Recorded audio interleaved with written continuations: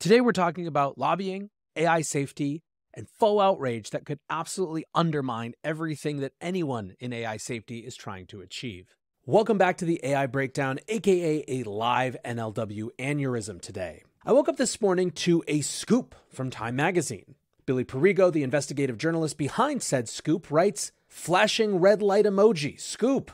OpenAI lobbied the EU to weaken forthcoming AI regulation. Even as in public, it calls for stronger AI guardrails, documents obtained by Time show. So, what we have here is the promise of a smoking gun of hypocrisy, a confirmation of the sort of regulatory capture that many have suspected on the part of Sam Altman and OpenAI. The idea or the concern is that the reason that OpenAI or companies like them are advocating for regulations or rules is that they really just want to pull the ladder up behind them and make it so that new competitors can't compete.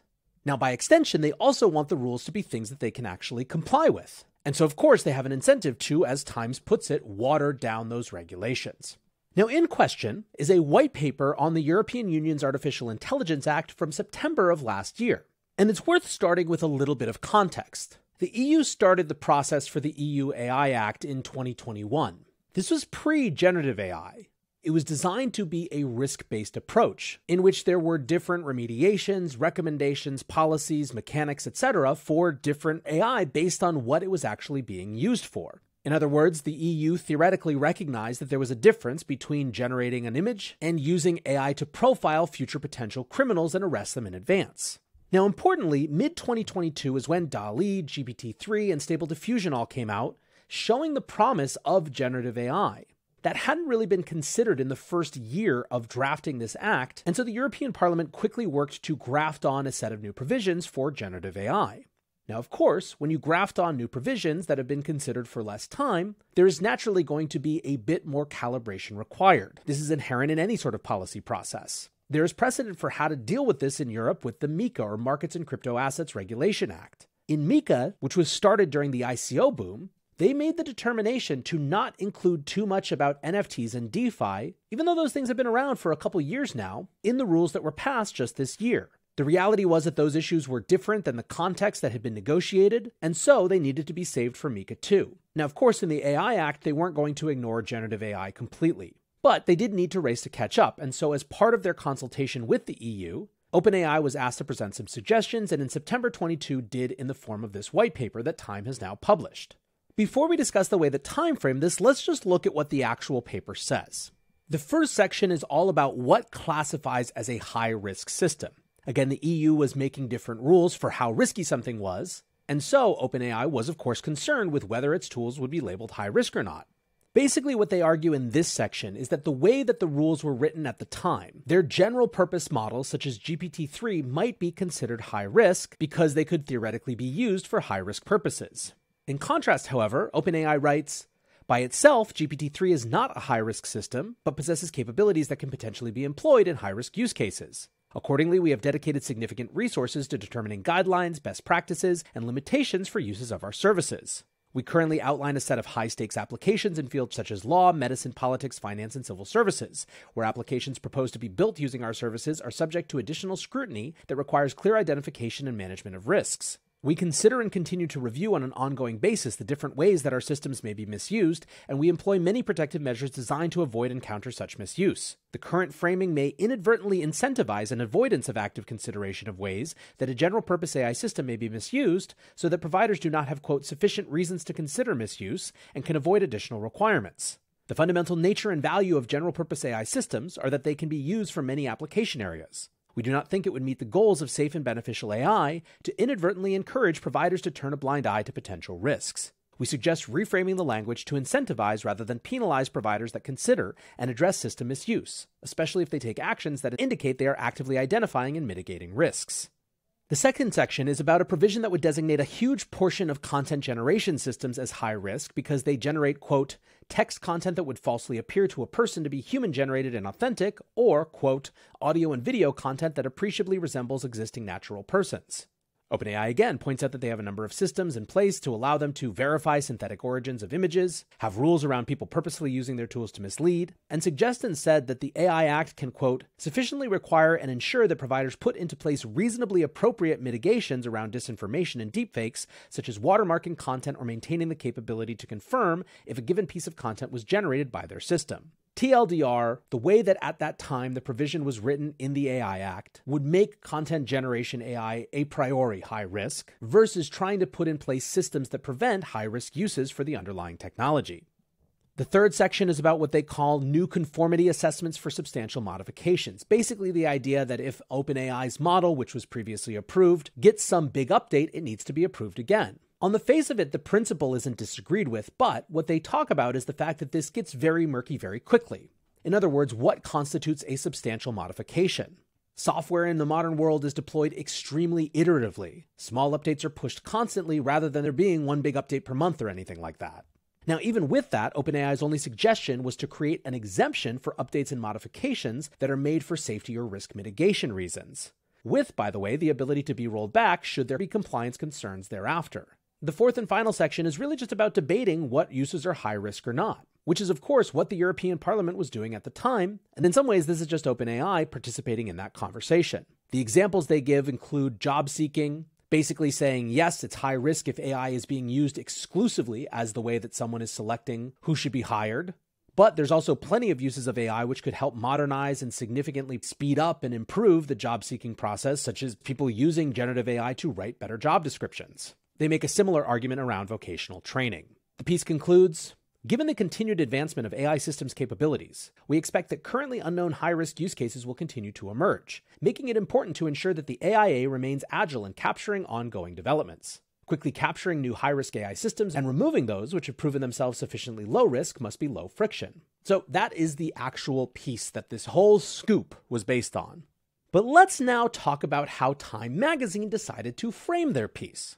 First of all, the headline Exclusive OpenAI lobbied the EU to water down AI regulation. It's hard to ignore the politics of choosing the phrase water down to describe this, but let's continue. The lead reads The CEO of OpenAI, Sam Altman, has spent the last month touring world capitals where, at talks to sold out crowds and in meetings with heads of governments, he has repeatedly spoken of the need for global AI regulation.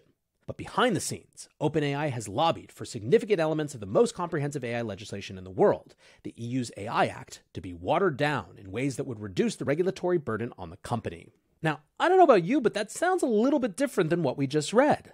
Now, stunningly to time, it appears that the EU might have actually thought some of the ideas and suggestions were good.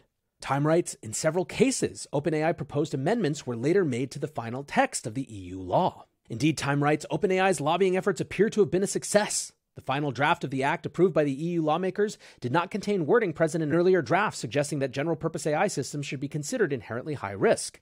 Instead, the agreed law called for providers of so called foundation models, or powerful AI systems trained on large quantities of data, to comply with a smaller handful of requirements, including preventing the generation of illegal content, disclosing whether a system was trained on copyrighted material, and carrying out risk assessments.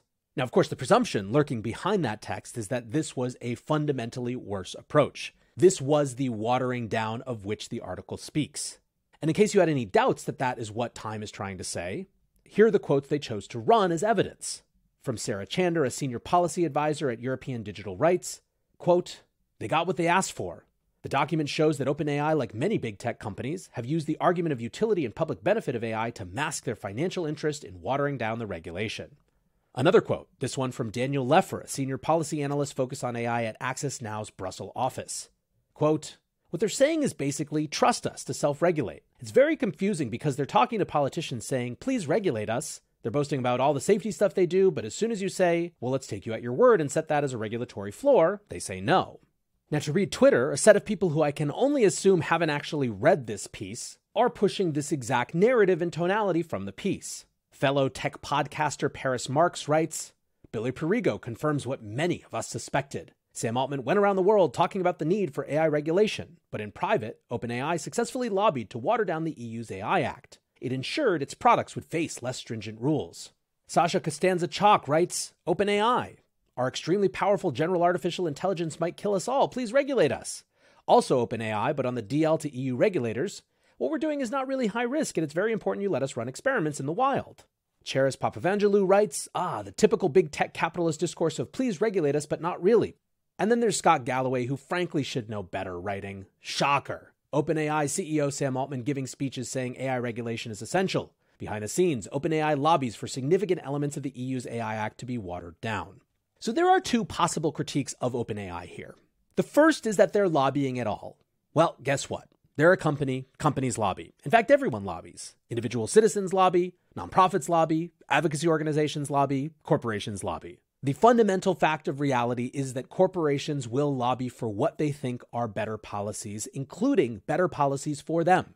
The whole point of democracy is that it's strong enough to take lots of different types of lobbying in and still come away with something that nudges us forward, even if it pisses off everyone along the way. The second possible critique, and this is really the big one exhibit in all of these tweets, is that OpenAI is being hypocritical. That somehow Sam Altman is speaking out of both sides of his mouth. You see it in all these tweets that in front of the press, they're saying that AI regulation is important, and behind the scenes, they're really trying to water things down. This is why language matters. All of these tweets, shaping all of the opinions that they're shaping, are predicated on the idea that this represents an attempt to water down the legislation. It's right there in the title. However, as someone who does multiple videos and a podcast every day about this industry, I would venture to say that I've followed this a little bit more closely than most of these folks who are tweeting now. And what I saw was Sam Altman and OpenAI getting castigated by EU politicians for saying that they were worried about overregulation and that the way that the EU AI Act was structured at current, and by the way, this was in May, might not be workable for them and they might have to actually leave the EU. Now, they walked that back, and Sam Altman then went and had what were apparently productive conversations with numerous members of the European Parliament. But there was a whole press cycle being mad at Sam Altman for saying that OpenAI was worried that the EU might be overregulating. Kind of undermines the idea that he's saying one thing in public and another thing in private.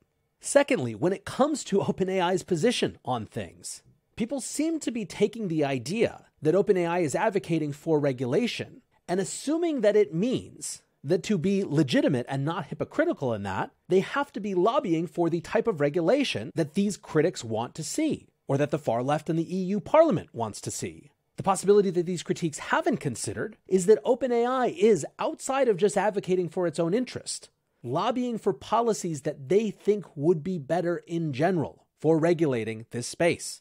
These critiques don't consider the possibility that badly written regulation can do as much harm as it does good, or even more. They don't consider the unintended consequences of loosely written words drafted by people who are just trying to understand something very new, whose end result has enormous power to shape things in directions that warp something for the worse. And it's not like this is abstract. GDPR is well intentioned legislation that does far less to protect privacy than it does to one, annoy people because they constantly have to one, opt into their privacy being broken, but it's still broken, and two, radically increase the market share of Facebook and Google when it comes to advertising because they're the only companies that are willing to pay for GDPR compliance costs.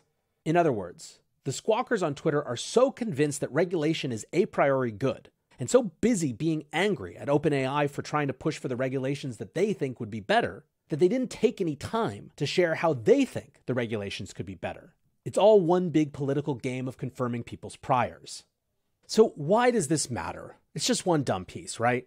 It matters in my mind because when the Fourth Estate constantly claims scoops and smoking guns that are actually nothing burgers, it undermines their credibility. In the world we're moving into, where we have the serious AI policy conversations that we're going to have, we need our institutions to have credibility. We need our political institutions to have credibility. We need our media establishment to have credibility. This was a hit piece, pure and simple. It had an agenda going into it. The words written in Time's piece don't match the words on the document that they shared. And so it's hard to see it as anything other than politically motivated. Maybe not just at OpenAI, but maybe as part of the larger culture war battle that the media has been fighting with big tech for going on five years now. Bad critique doesn't hold companies' feet to the fire. Bad critique undermines important critique later on. Bad critique doesn't lead to change, it leads to people tuning out. And so, for people who are genuinely concerned about the risks of AGI, they should be frustrated that time is wasting its scoops and its exclusives and its heightened Twitter drama on a non story for the sake of clicks. But whatever. So I have a podcast so I can go out and tell you what I think about the news instead of just having to listen to the garbage that is fed to us constantly, passed off as fact, and wrapped up in a bow to get us angry in predictable ways. That's it for today's AI breakdown. If you're enjoying this, please like, subscribe, and share. Check out the podcast version in the newsletter. And until next time, don't believe everything you read.